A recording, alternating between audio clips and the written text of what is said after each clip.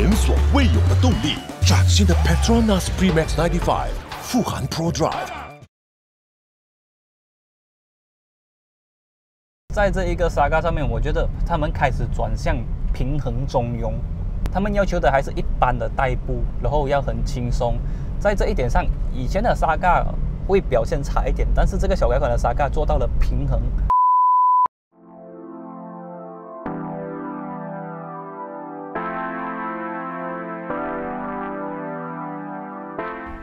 在我身后这个是小改款的 Proton Saga，在小改款之后，它的销量从原本的单月两千多辆变成单月四千多辆，究竟是什么魅力让这个小改款的 Saga 可以热卖？今天我们就会和大家分享一下这个小改款 Saga 的优点和缺点。小改款的这个 Saga 车头，其实严格来讲它没有什么大改变。但是细节上做出了优化，我个人其实更喜欢这个小改款的 Saga。你可以看到全新的这一个无线编织 Infinity Wave 的这个家族水箱护罩，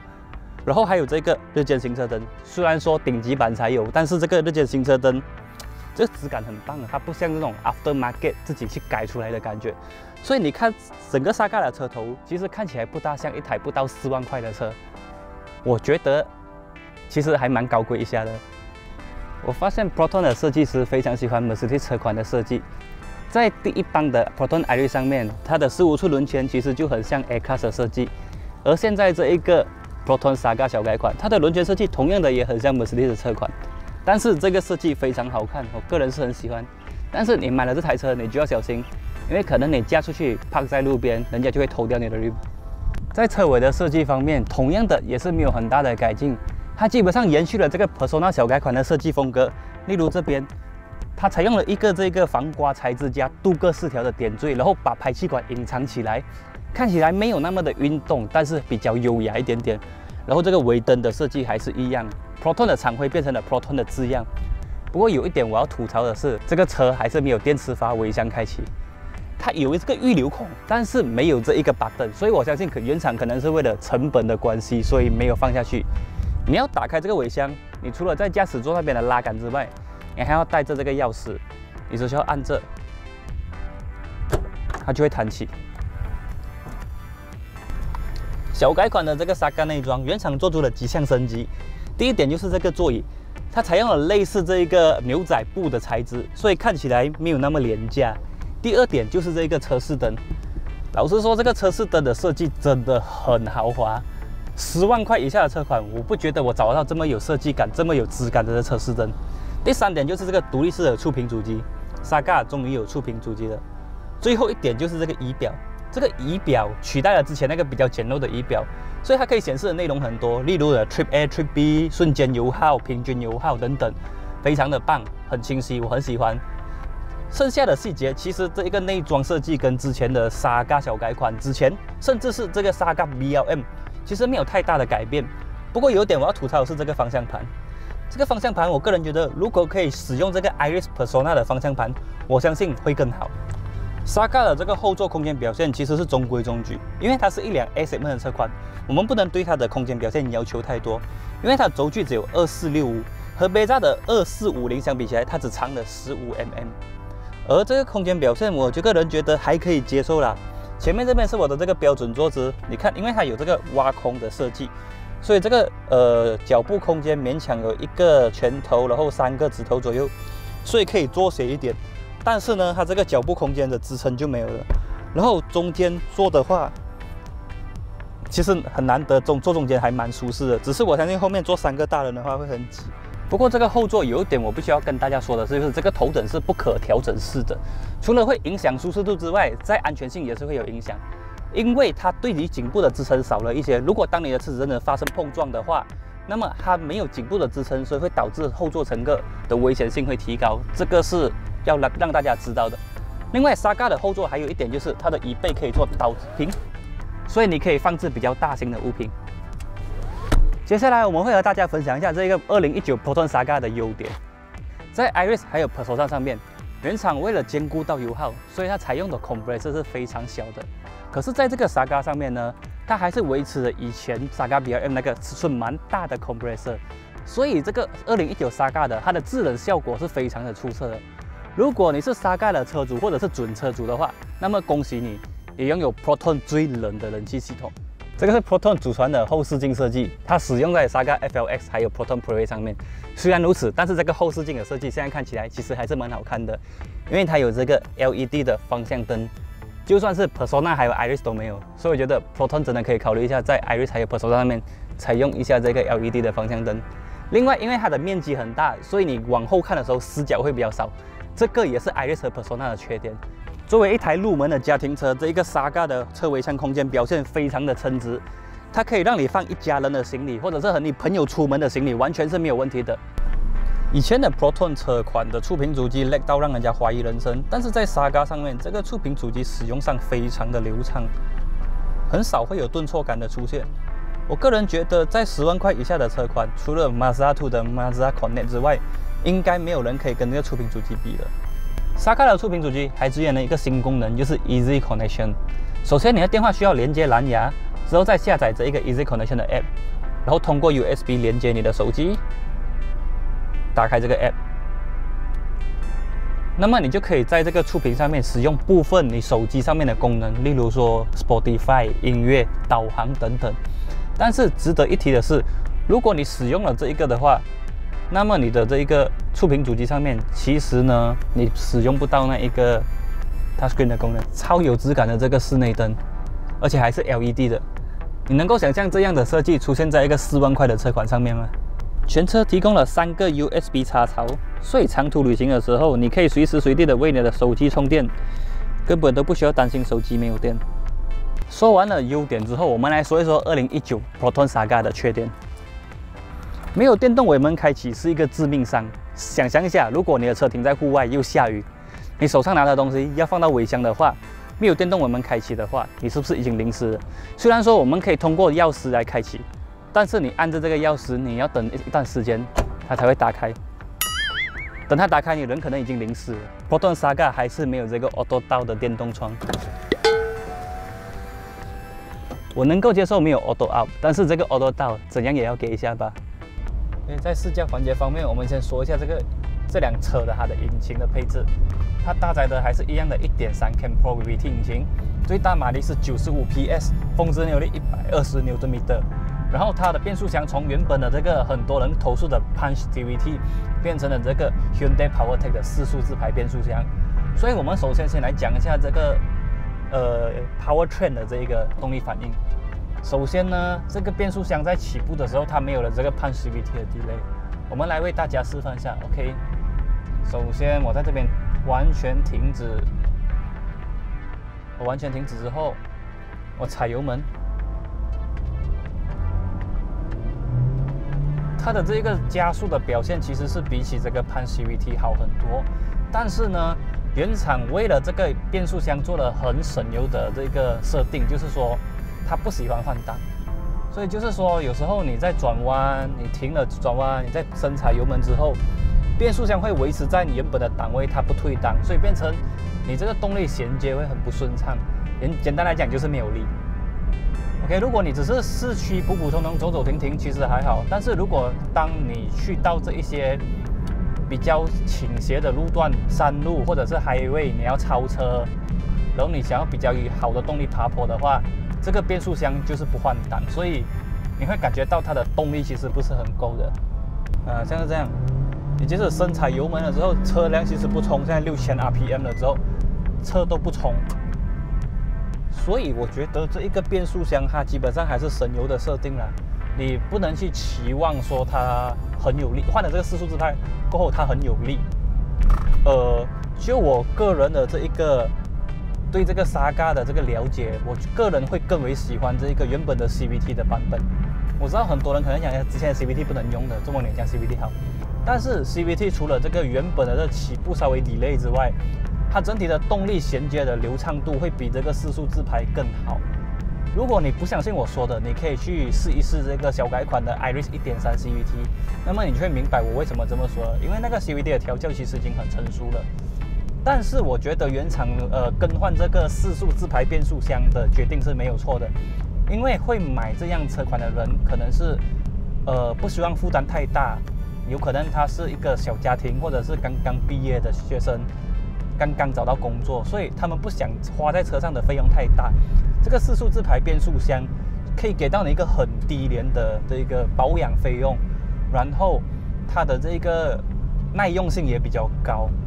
所以我觉得这一个 Proton 在这一个选择上是没有错的。虽然我个人更喜欢那一个 CVT 的动力响应，只是你买了这台车，你就要去接受这一个四速自排变速箱不需要换挡，所以你超车啊会没有力啊等等的这一个带来的后遗症。接下来我们说一说这个 Proton Saga 的操控表现。在这个小改款的 Proton Saga 上面，原厂试图让它更为接近一辆城市小车，所以虽然还是同样的油压式方向盘，但是他们的工程师加大了这个方向盘的这个辅助力道，所以这个方向盘的转向其实是很轻的，比起小改款前，它轻到让我觉得在市区驾是很好的，转向很轻松，不会像以前那样有很重手转不到。所以，就算是女性的驾驶者，也可以很容易的摆动方向盘。但是这样的改进带来的一个呃效果，就是它会损失了一定程度的方向盘手感，所以它的操控表现会受到影响。但是我可以很负责任的告诉你，这一台车的操控表现基本上还是在 X M 里面最强，包括了 b i c a n d o 包括了 i10，包括了 Asia，包括了 Beza，它是这个 X M 里面操控最强的车款，这个是毋庸置疑的。在弯道的时候，它的这一个车身的侧倾会比较明显，跟小改款相比。但是它的悬吊设定是非常的舒服，即使路上很多洞啊、很多墩啊、很多黄线啊，你依然可以感觉到那个悬吊过滤这个碎震是很棒的。它很适合当一辆家庭车，真的很舒服。但是操控会差一点点，可是依然还是 A 型 t 最强。这样的设定，我觉得 Proton 的车款不再像以前那样只追求操控表现，反而是追求比较平衡的东西。这一点是我个人是比较喜欢的。所以在车辆的操控表现，Proton 一直主打，这几年一直在主打它的 MVH 进步，MVH 进步。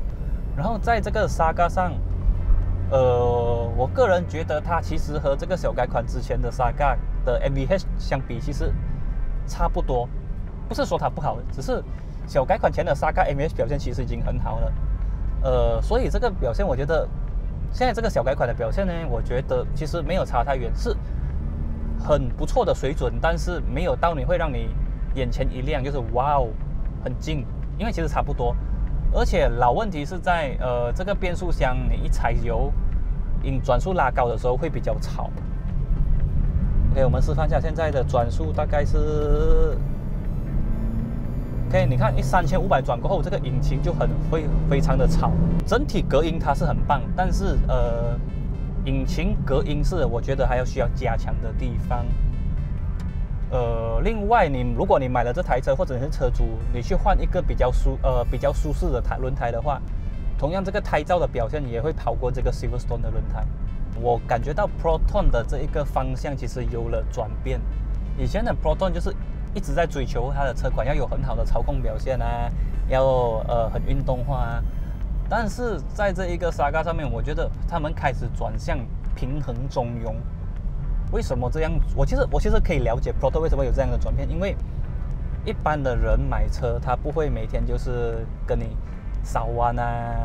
p a c corner 啊、然后来跑等等，其实他们不会，他们要求的还是一般的代步，然后要很轻松。在这一点上，以前的沙嘎会表现差一点，但是这个小改款的沙嘎做到了平衡。它可能没有以往那么好的操控，这一个四速自排变速箱可能会慵懒一点，不大喜欢换挡，但是它可以给你带来一个还不错的油耗，然后呃很轻松的驾驭表现。这样子慢慢开的话，其实很写意。而且它的隔音表现其实是不错的，虽然跟上呃小改款前没有差很远。呃，当然，如果你说 A 型门里面的这一个整体表现来说，隔音沙嘎是最好的，这个是毋庸置疑的。但是引擎声还是真的是比较吵一点。然后油耗表现方面，这个是沙嘎小改款的油耗表现，其实跟这个沙嘎 BLM，因为沙嘎 BLM 也是四速自排，它和沙嘎 BLM 相比的话，它确实进步很多。以前 Saga BLM 的车主很常会遇到一一个满缸可能跑不到三百公里的这一个呃情况出现，但是在油缸一样的情况下，这个二零一九 Proton Saga 它的满缸可以跑到接近四百，有时候甚至四百出。只是这个行车电脑的这个油耗表其实是一个快乐表，它会让你觉得呃很快乐。因为这台车之前我开了差不多五天，里程电脑最低的油耗是去到呃五点三公里一五百五点三公升一百公里，呃换算大概是十八点多。公里一公升，你看到这个油耗很漂亮，对不对？但是你实际去添油之后，你换算下来，它的油耗其实只有十四点多。当然，这个十四点多的油耗和 Saga BLM，甚至是跟这一个 Saga CVT 相比的话，其实有一点，呃，差距有一点大，因为它真的油效油耗表现进步蛮多。但是和这个电脑显示的十八点多相比，还是差了四公里。会有这样子的原因，其实是因为这个行车电脑在你车就是停着怠速的时候，它不会计算油耗，因为一般的车子你停着它也是照样计算油耗，所以它会给你一个平均比较准确的油耗表现。但是这个表是让你比较快乐的，你车子 OK，我打 N 档，这个时候它是显示八点四公里，然后它是不会计算油耗的，就算我这样开着车停在这边一个小时，它还是八点四。所以呢，这个里程电脑的油耗你不要太相信，你还是自己去计算一下。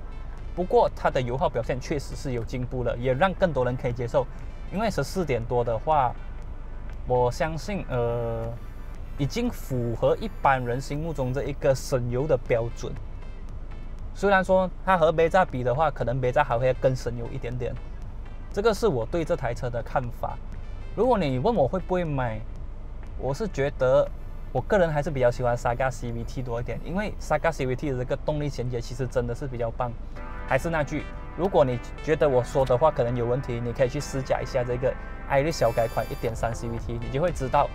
为什么我会说我比较喜欢 CVT 的。但是这个四速自排对一般人来说，我觉得是相当足够的啦。重点是它的维维护费用会比较低，CVT 的话你换一次这个。牙油还有这个 filter 应该要四五百块，单单那个 CVT oil 就三百多块了。而这个四速自排呢，我也去 Proton 的官网查了一下，他们暂时还没有价钱表。但是我相信你换牙油应该是两百块以内搞定的事情啊，可能一百一百五十以内可能都有都有这个可能性。所以呢，这个耐用和耐用、省油跟这个低保养费用是 Proton Saga 的这个最主要的卖点。当然，它的舒适性也是很棒。所以呢，如果满分五星的话，我会给这辆车二点八星。它的整体表现其实是，这个价钱真的不能嫌太多。虽然缺点还是有，而且这些缺点可能会对你一般的驾驶来说会造成这一个不便利。但是这个价钱下面，你真的是不可以太嫌弃了。OK，以上就是我们这一期影片的全部内容。如果你喜欢这一次的影片，不要忘记帮我们订阅我们的频道，还有分享我们的这一个影片，然后同时开启那个铃铛，在下次我们上传新的影片的时候，YouTube 就会通知你。OK，我们下次见，拜拜。